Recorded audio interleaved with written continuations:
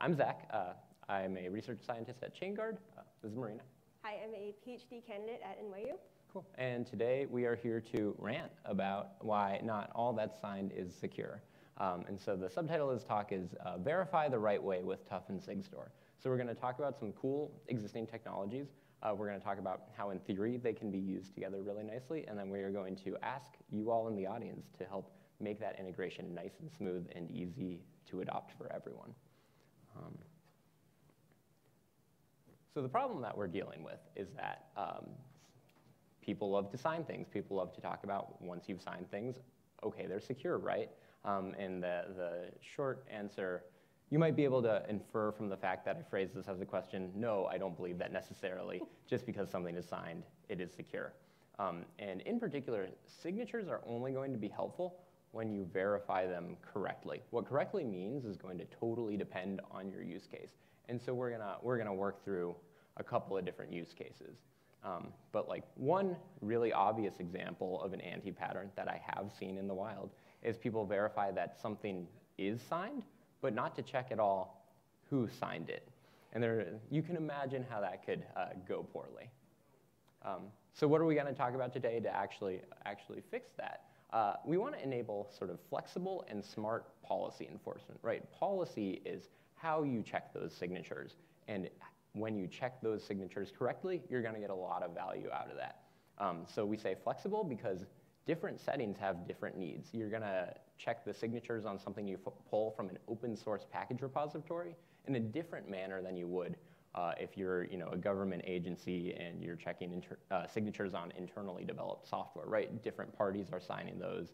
Uh, the way you figure out who's supposed to be signing what is going to be different. Um, but we're going to use uh, existing secure solutions that have kind of worked all the way through all the kinks. Um, they're going to protect you against sorts of attacks that maybe you didn't even know were going to be a problem. And so by using these off-the-shelf solutions, you're going to get protection in a way that, that you know, something cobbled together without that theory is, is going to lack. And then we're going to kind of work through a couple of different examples. Uh, we're going to work through sort of the open source package repository setting. How are you signing in that environment, especially if the signatures are coming from you know, people all around the world who maybe you're not going to be able to ship them all YubiKeys. Um, and we're going to talk about internal container registries inside of an organization uh, and then I think from that, you're going to be able to interpolate to a whole bunch of different settings uh, with, with, again, the same building blocks. Um, so we have our obligatory uh, collage of headlines slide. Um, if you've been at this conference for the past two days, odds are pretty good that you've heard someone say the word software supply chain security. Uh, it's in the news a lot. Um, but fundamentally, all, all of these problems boil down to someone is trying to run some software and it's not the software that they thought they were running, and they get an unpleasant surprise for it. And so we're getting interest from the government. We're getting interest, you know, in the news media when, when attacks happen. We're getting academic interest. Uh, and so these things are important. And so uh, the next question is, you know, uh, does signing software, the, the subject of this talk, does it help? Um, and people, you know, armchair, armchair uh, opinionists on, on sites with orange headers like to talk about, oh, just sign the software and then it'll be secure. You're having all these vulnerabilities because you're not signing the software. And I think there's a little bit more nuance than we need, uh, that we need for that. So I think signing software is part of the solution. Um, you know, you can, if you download software from the right place, but it's not what it's intended, those kinds of attacks are things that signing software can help with. So compromised accounts, uh, compromised build processes, even compromises of the package repositories themselves, we can, we can deal with that by signing software. Um, it's not going to stop all attacks. It's not going to stop you know, normal vulnerabilities. If someone published software honestly and they just made a mistake, uh, that's how would a signature help with that? It's not going to defend against you know, underhanded contributions. So I send a PR to a project that looks safe but actually introduces a really bad vulnerability. It's not going to you know, defend against me going and threatening an open source maintainer with a hammer until they publish the Bitcoin miner in place of their you know, NPM package. Um, but in situations where you know who's supposed to be signing a package, we are going to be able to help with the kinds of compromise mentioned on the previous slides. And that's a really big if. You know, we're, we're going to come back to that later. uh, you know, it's doing a lot of, a lot of heavy lifting there. Um, so, uh, SigStore in the talk title, uh, really exciting technology. We're not going to have time, unfortunately, to do a deep dive into um, how it works, but the high level overview is that it uh, enables really easy signing of software uh, for containers and for, for other software as well. Um, and it enables workflows without key management. So for a long time, we've, we've known that people struggle to manage uh, long-lived signing keys. Um, I'm sure some of the folks in this room have a GPG key on a hard drive in a basement or a garage that you know is on unencrypted and you know they don't know how to access anymore, right? Like key management is really really hard, and we've you know this has been validated in the academic literature. There's a lot of usability research on this. Um, some people it works great for them, and we're, we're not you know, we're not coming for your guns. You're not, we're not coming for your GPG keys either. Um, but we do want to enable workflows for folks who don't want to be managing keys, but are comfortable managing, you know, single sign-on identities. So, you know, I don't, I have, uh, last count, like eight GPG keys that I've used at various points in my lifetime that I no longer have access to. Uh, my Gmail account I made when I was, um, well, I'm not gonna, not gonna date myself, but um, I made at an earlier stage in my life, and it, it was you know many years ago, and it has remained compromise-free since then. And I, I, you know, I've put all my eggs in one basket, and then I watch that basket really, really carefully. Uh, and we're not advocating for single points of failures, and we're going to talk about policies later on that, that kind of um, prevent uh, bottlenecking too much on a, on a single point of failure. Uh, but we are saying, you know, a lot of people have a much easier time managing a single sign-on identity, like you know your, your Google account, your Microsoft account, your GitHub account, uh, than they do a GPG key pair. Similarly, uh, when you're talking about machine identity, so I'm running a job in GitHub Actions, GitLab pipelines, uh, that identity, you don't want to link that build job to a particular key pair because if that key pair ever leaks, you know, all, all, all hell breaks loose, basically, looking backwards.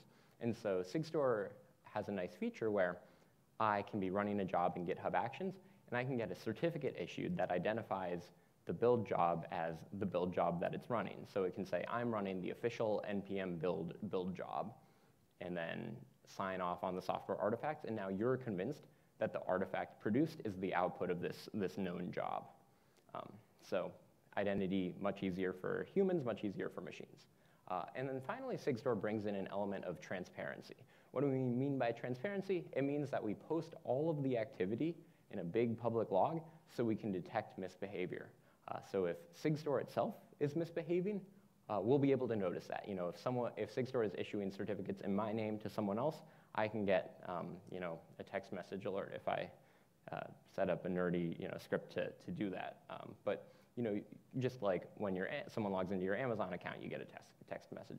So SigStore's transparency kind of, um, we're doing some centralization here, which is scary, especially to a lot of people who um, are used to the 90s cypherpunk kind of model of, of crypto as decentralize everything. Uh, so we're doing some centralization, but I think to, to mitigate the impact of that, we're asking the central parties to be fully transparent in everything we do so we can double check them. Um, so how does it work? Again, we're gonna, we're gonna skim. This is not a, uh, the point of this talk. I would love to talk your ear off afterwards about, about uh, the details of these components. Um, but there's a few components. Uh, one is Fulcio, which is a certificate authority.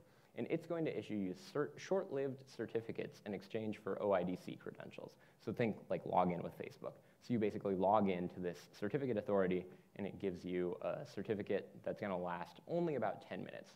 And then there's a log called Rekor, which is going to give you a timestamp on that signature so you can know that it happened during that short validity period. Um, and then it's going to record some metadata about the signature itself. Uh, and then finally, there's a client called Cosign, which is really useful in a you know, cloud native context for sticking those signatures in OCI registries and kind of tying these components together. Um, okay, so you've got your SIG SigStore, you're doing the signing. Let's talk, how does verification work? So one way you could imagine doing this is you're a user, you go to your container registry and you say, give me the latest uh, Nginx image. It gives you back you know, Nginx at a particular hash, and then it also will give you a signature. Uh, and then you verify that signature and life is good, right?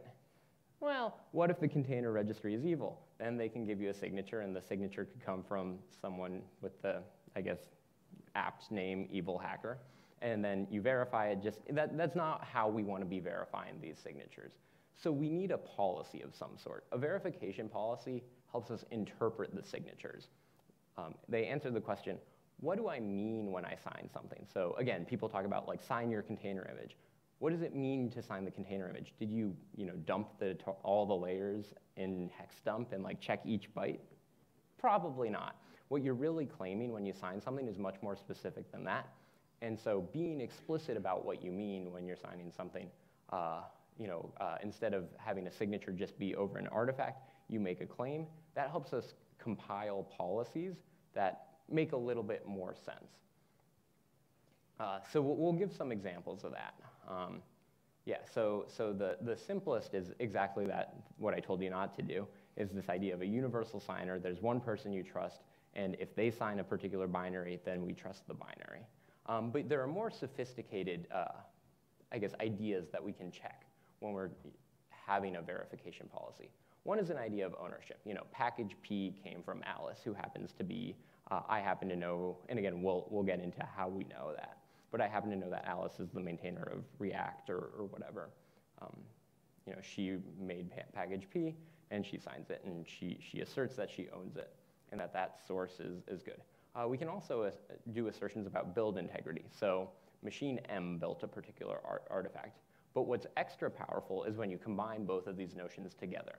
So the, uh, the idea is that your trusted build machine would sign a claim like, I built package P from source code S, and Alice says, I audited the source code S. And then if you trust Alice, these two things together give you a much more powerful claim than you know, either of them on their own. Um, so policies are good. How do you get a policy? Um, so you may recognize some of these figures from the previous slide, and we're going to go through a pretty similar exercise. Okay, so I'm going to go you know, request the latest Nginx image. It's going to give me a signature and a, um, you know, the image at a particular digest. And then I go back to the container registry and I say, by the way, who's supposed to sign that container? And the container registry says, oh, Marina Moore. And then I verify it, uh, and life is good. Um, that could go wrong in much the same way that it could go wrong the last time. So same thing, except now the signature is coming from the aptly named evil hacker. Uh, I say, by the way, who's supposed to sign that, that container? and the container registry says, oh, evil hacker, of course. And then I verify, boom, check. And that's, that's not, life is not good in this situation. Uh, so uh, we, have to, we have to use some, some slightly more sophisticated technologies to help us with that. And that's where I'm going to turn it over to Marina. Great, thanks. So yeah, so as those previous examples showed, you have to know not just, you have to know what you're running and the context in which you're running it. And this context tells you who it is that's supposed to sign each thing. And you have to be able to get this context from a secure source, a source that's separate from where you're getting the image and the signature so that it actually provides an additional layer of verification. And so I'm going to talk a bit about this project called the Update Framework, or TUF, which is a project that really focuses on this idea of secure distribution. It can be used to securely distribute not just signatures of artifacts, but who is supposed to sign these artifacts. Um, and it can be used for these, these kinds of trust relationships. And this framework has this additional property of compromise resilience. So even if any um, single key or single, um, even, even a single repository in the system is compromised, there are ways to recover or prevent these attacks. And also, I think we're going to very briefly cover in-toto, which really covers those combinations and how can help you talk about more, more detailed relationships about what happens in your entire supply chain not just the distribution step, but going back from the distribution step. Who actually built your software? Who tested it? How do we know who's supposed to build it and who's supposed to test it? Putting all that stuff together into a, a single place where you can check all the steps in the, in the supply chain to make sure they're done by the proper people and then distribute information about who's supposed to sign those in a secure fashion. So as with um, SigStore, unfortunately, this is also not a, a in-depth TUF talk. So a lot of the details about how this stuff I'm going to talk about works will not be in this slide um, or in this, in this um, particular presentation. We have lots of great content on the TUF website, including a, in the talk listed there if you're interested in the low-level details about how TUF achieves these properties we're going to talk about. we're going to focus today just on kind of what those principles are.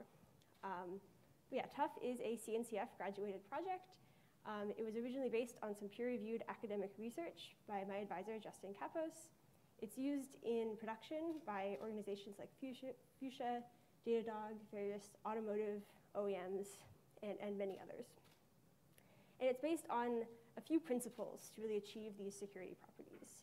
These principles include separation of responsibility, meaning that we can achieve that compromised resilience, right? So that if any one thing is compromised, it only compromises the particular responsibilities of that entity, and no entities have too much responsibility. This idea of multi-signature trust, which we'll get into in a minute, and explicit and implicit revocation to make sure that all parties in the system can be revoked if they're compromised, and of course, secure recovery when a compromise happens. So the first property we'll talk about is delegations. So you can have a centralized entity, you kind of your root of trust for the system, if you, were, if you will, so in the case of a organization like PyPI, which is the Python packaging index, the, um, the thing that hosts Python packages that are downloaded by pip and other installers, um, you can have, it, it can control the space of packages that are uploaded to PyPI. And you can say, okay, but I know that the NumPy package is owned by Alice, and Alice should be the only person uploading the NumPy package. So Alice has permission specifically for NumPy package, but no other package on PyPI. And the SciPy package, on the other hand, is Bob is trusted to upload this package. Bob is trusted for this package and nothing else. And you can do more complicated relationships, list, of course, multiple packages for a person, separate namespaces, all those kinds of things. TUF also includes explicit revocation. So if any entity, so say we have, in this example, we have OpenSSL. So This is version 1.0.1, which we think is, is totally fine. And then um, you know, something changes, right? We learn that there's, there's some issues with this version of a piece of software. Um, we can respond to this vulnerability by re explicitly revoking trust in that version of the package, but leaving the, the trust in future versions of the package. Um, this includes a couple of additional, this, this is done using the metadata system in TUF, but it really ensures that you can explicitly say when a version of the package is, is now has a vulnerability or you learn more about it, it can be explicitly revoked and it won't be used anymore. And every client will know that they have a version of the index that's up to date and lists these, um, these, like outdated packages as, as deleted. We also have implicit revocation.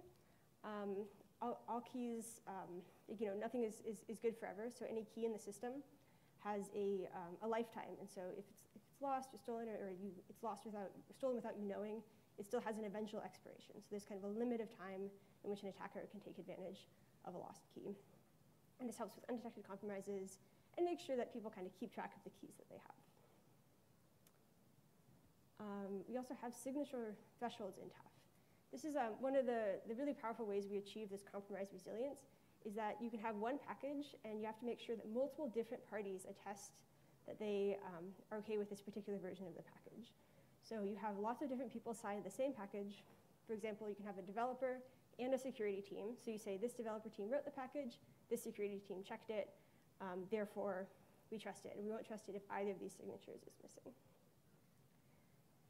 And um, finally, we have one remaining issue with TUF, which is how are we're going to loop this back into our TUF and SigStore combination, which is that um, how do you detect if a key is used by an attacker? So if someone manages to get your key without your knowledge, how do you know that that key was used on TUF? And are you seeing the same signatures on these packages as everybody else is seeing? And this is where you really need this, this property of auditability. Um, so as you guessed, this is where TUF and SigStore can come together. Um, this is actually already supported today. You can um, include, you can upload TUF metadata to the Rekor transparency log in SigStore to get this auditability where you know not just that you know, this, this is the TUF metadata that you're seeing, but it's the same TUF metadata that everybody else is seeing for this particular package. And this allows you to audit the use of, so any signer in the system can audit that, um, audit every time their key is used. And you can also ensure that you have global consistency. And if you have like one particular vulnerable target, they know that they're seeing the same version of the TUF repository as every other user of the system, even in the event of a key compromise or any other change to the system.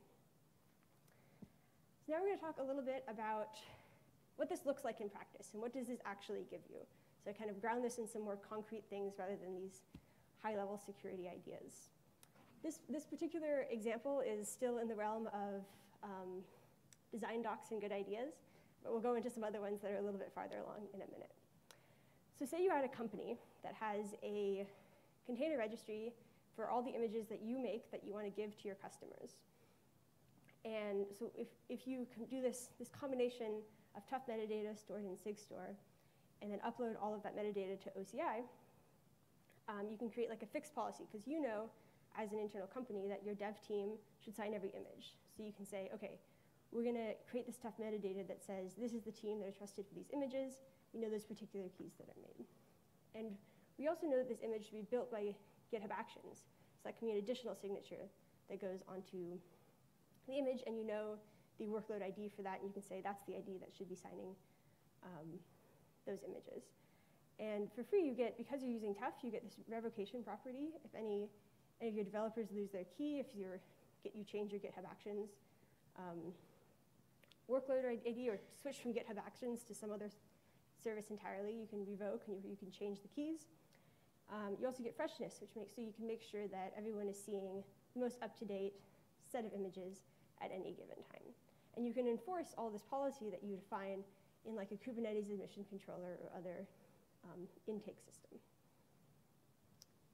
Another idea of how you can combine these systems, that this one is a little bit more far along, um, which is the idea that you have a public package repository, someone like PyPI, NPM, RubyGems, all, all, everyone, all those folks.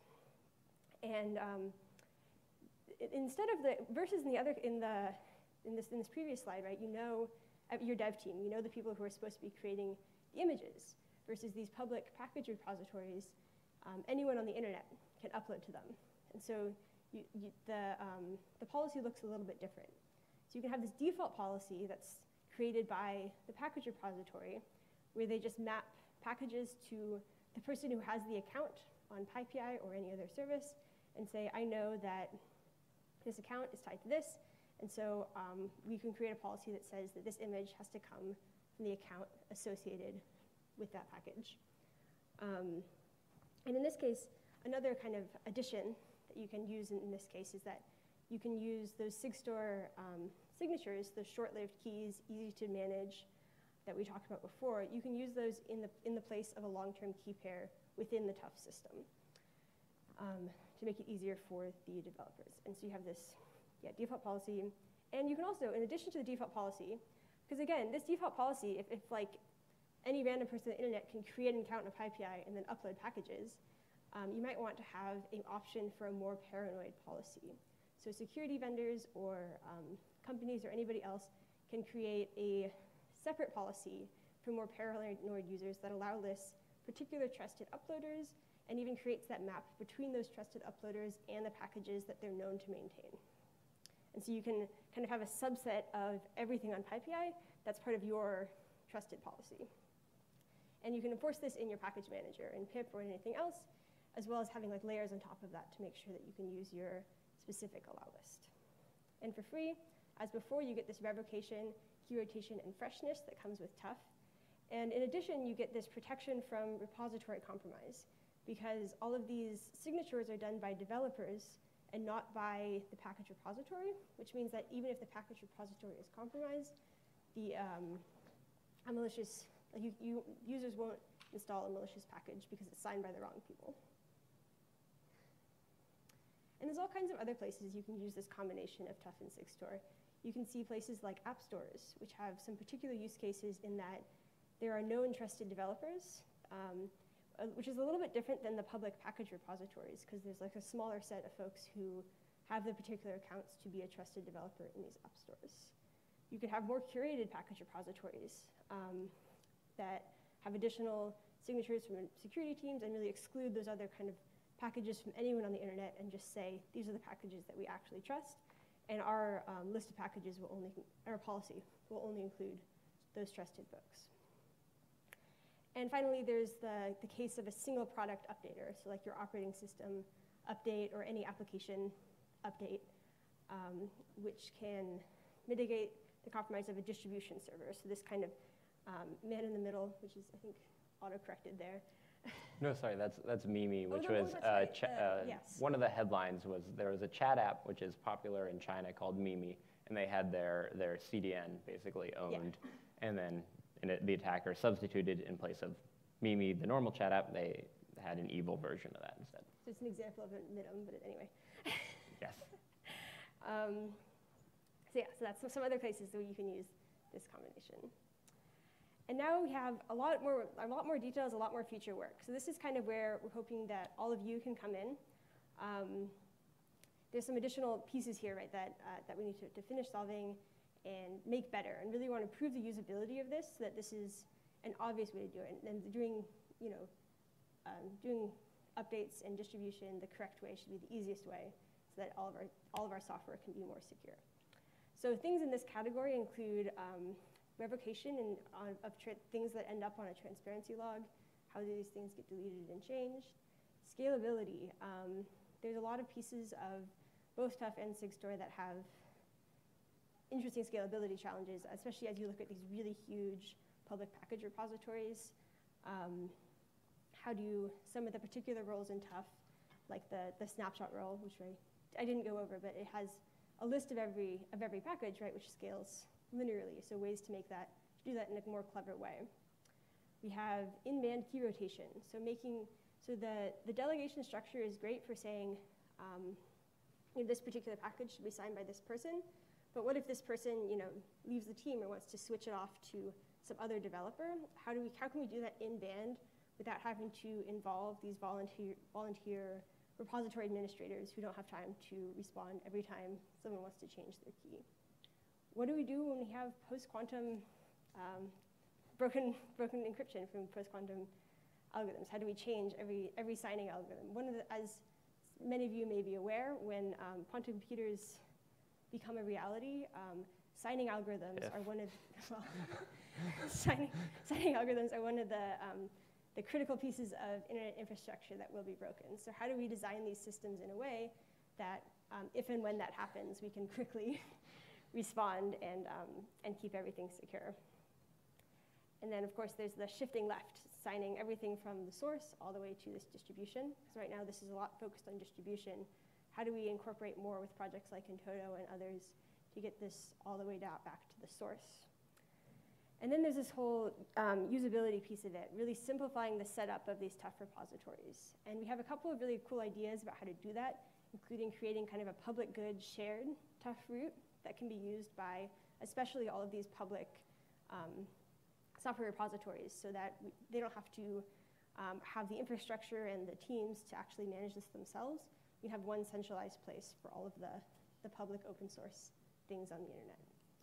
And of course, in-toto, which I mentioned before, but I think integrating the entire software supply chain security into this is going to be a key piece.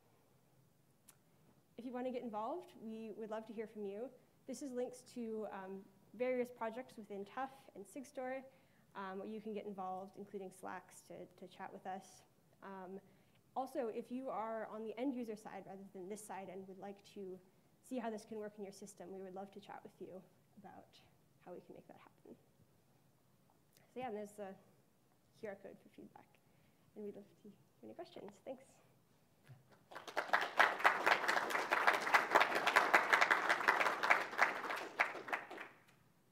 All right, yeah, we did leave, I think, almost 10 minutes for questions, Yeah, so love to take them. Um, I think I saw your hand first. Have there been any discussions with some of the bigger Linux distribution repositories, you know, RPM, Debian, apps, whatnot, um, for bringing some of this to a pretty horrifically broken system? Sure. Uh, Go for it. Okay, yeah, so the question was, have there been discussions with uh, Linux OS package repositories, basically? So, you know, you're talking about apt, RPM, and, and so on. Uh, the, the short answer is it hasn't been an area of focus, largely because I think the, the problems are much bigger for community operated package repositories where you have developers coming and going.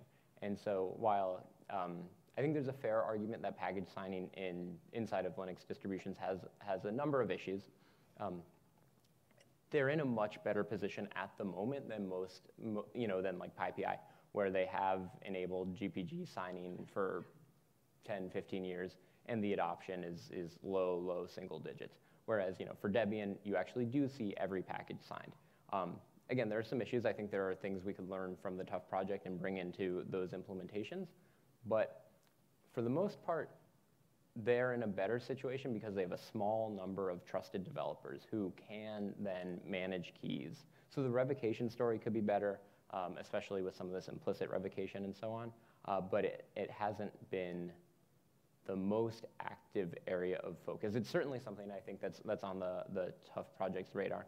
And it's a place we'd love to have conversations. I'll take a moment to plug in the OpenSSF, there is a working group called Securing Software Repositories, which has been convening a number of folks from various package repositories. We have the best representation from uh, language ecosystem libraries, or package repositories like PyPI, NPM, and so on.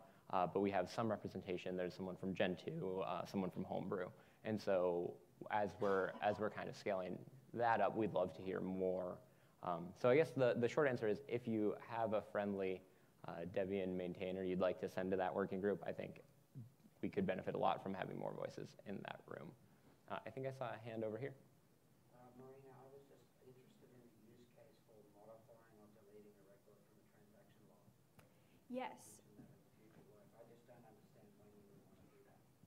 Yeah, so there's a couple, a couple of reasons. So, um, You it want to say the question? oh yeah, sorry. So the, the question is about um, deleting um, transactions from a record log. And um, one of the main kind of, there's a couple of use cases here that have to do with this. Some of them have to do with privacy concerns um, or other like reasons for, for deletion. Um, and also the other, the other question is if a package has a known vulnerability, what do you do to make it clear that this entry in the log is not the one that, that you want to be using? There's a future entry that's the one that's, that's better. Um, so there's kind of two angles on, on that.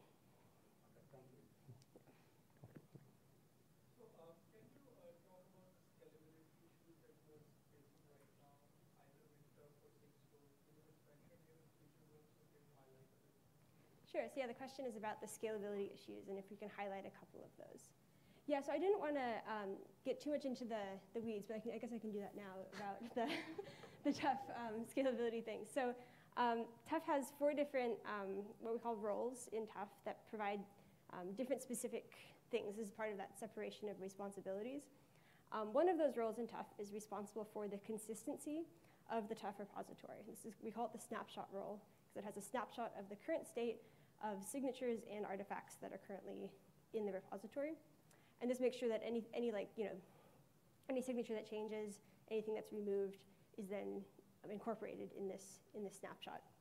However, the way that's done in TUF today, which there are proposals to change this, of course, but is that you list the, the every metadata file and version number um, that's in the repository, which um, in the, if you have, you know, a lot of artifacts, something in the millions of artifacts in your repository, that list can actually get fairly long um, and become noticeable when it comes to downloading things.